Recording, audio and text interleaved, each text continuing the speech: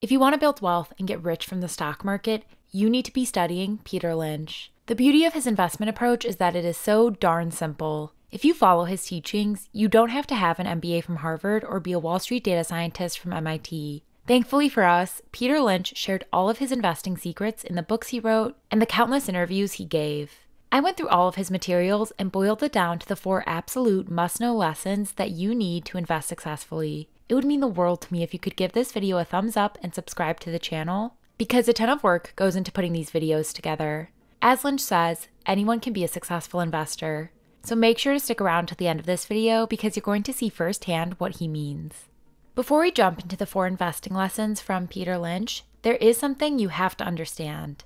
Let's call this Lesson Zero. There is no such thing as a natural born investor. There's no family gene that makes someone a great investor. Almost all of Lynch's relatives distrusted the stock market, partly due to them having grown up during the Great Depression. Additionally, you don't need a high IQ to follow Peter Lynch's strategy. As Lynch says, if you can add two and two together and get roughly close to four, you have the intelligence needed to make money from the stock market.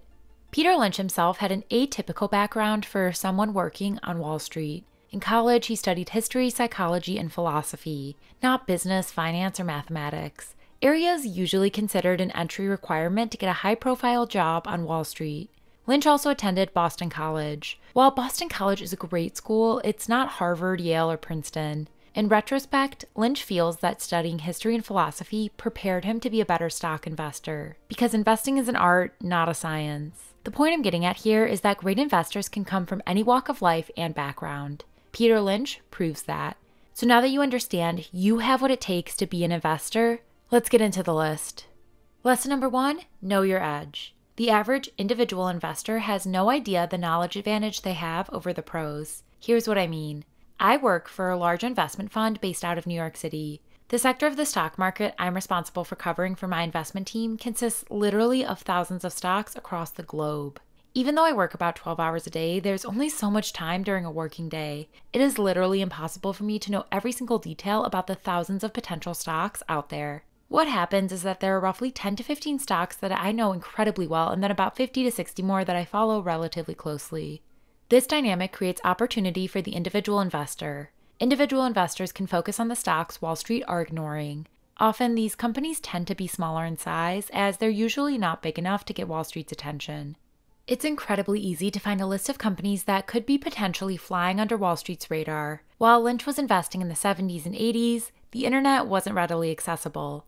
Here in 2023, you have to use your resources to your advantage. To find a list of smaller companies, all you have to do is go to a stock screen like this one here. With this particular one, go to the market cap option and select small 300 million to 2 billion.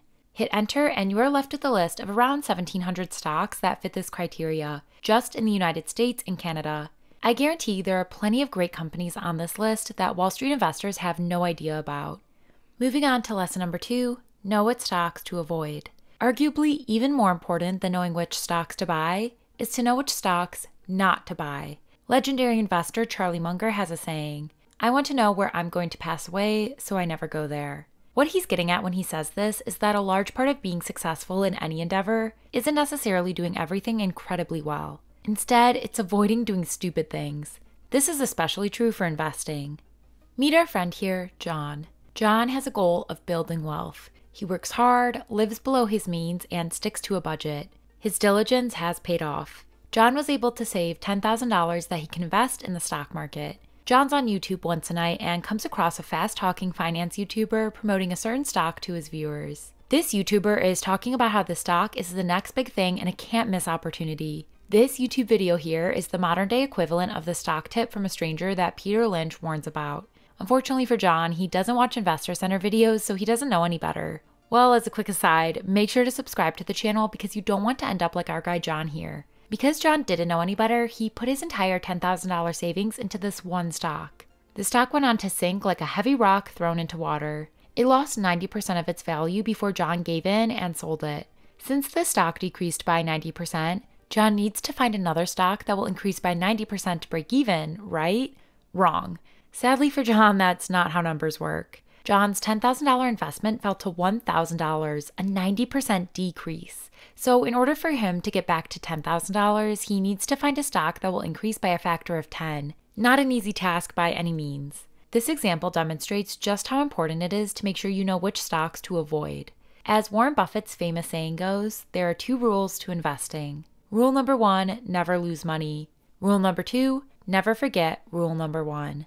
Lynch calls out three types of stocks to avoid. The first is the next big thing. If a stock is being heralded as the next Amazon or the next insert big company name here, Lynch recommends avoiding it like the plague. These types of stocks trade at high valuations, meaning any bump in the road for the company is going to cost investors a ton of money. The second type of stock Lynch recommends avoiding is companies that are doing diworsification. These are companies that are entering unattractive new markets for no good reason. Oftentimes, companies do this by paying a premium to buy another company. The winners in that situation are the shareholders of the company that was acquired. The third category of stocks to avoid are what Lynch refers to as dependents. These are companies that rely on a small number of clients for a large part of their business. If just one or two of those big customers leaves, it can be big trouble for the stock.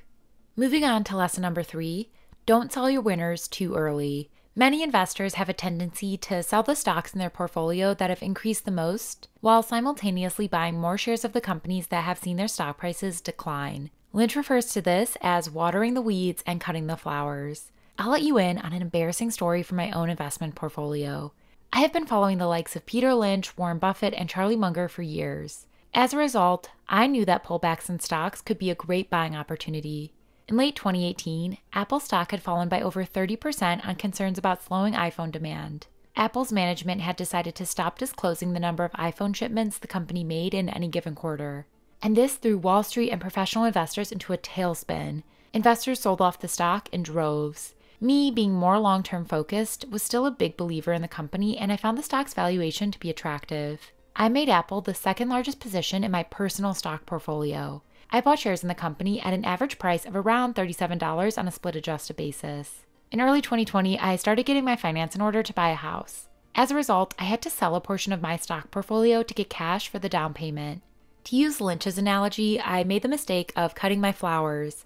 I ended up selling my entire Apple position because it had performed so well. I cut my flowers when I should have been cutting my weeds. I sold out of Apple at around $75 only to watch the stock continue to rise all the way to the roughly $180 per share it trades at currently.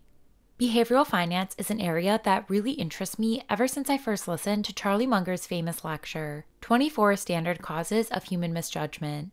Behavioral finance attempts to explain the psychological reasons why people do certain things with money. These psychological biases prevent us from making optimal decisions. There is one of these biases that really stands out when trying to understand why people sell winners too early. It is called loss aversion. This is where humans dislike losses more than they like the equivalent gain. Think about this example. Imagine your employer gave you an unexpected bonus of $1,000. Would you be excited? Well, of course you would. You'd probably walk around with a little extra pep in your step the rest of the day. But think about the alternative scenario. What if you had been promised a $1,000 year end bonus all year long? You had already spent that money in your head.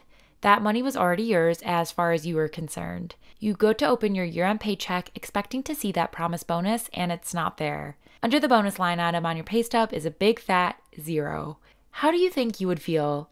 You would be irate and probably would want to find another job. You would likely be mad at your employer for weeks, if not months. Notice how, with this hypothetical example, that even though the dollar amount was the same, the likely emotional response to losing the money was way stronger than gaining it.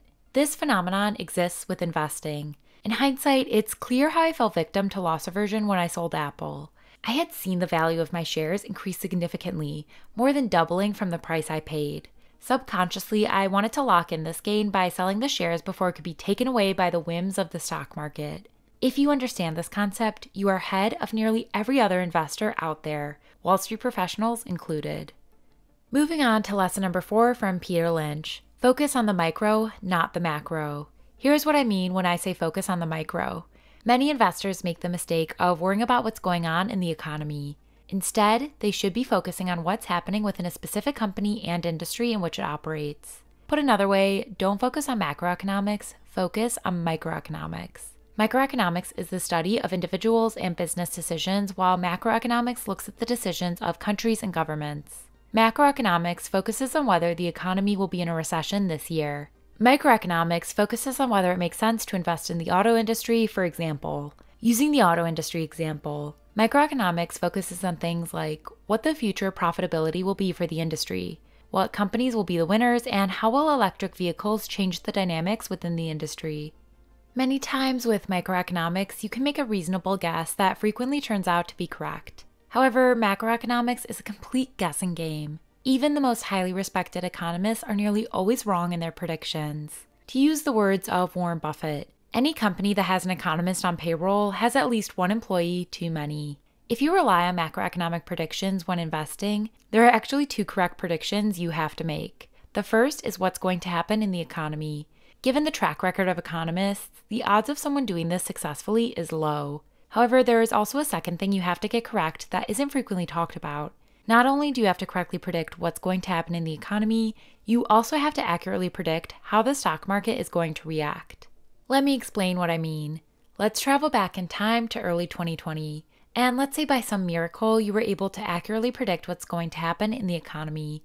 You correctly predicted that the economy was about to enter a difficult time, that GDP would contract and the unemployment rate would skyrocket from 3.5% to nearly 15% virtually overnight. You got that part of the equation right.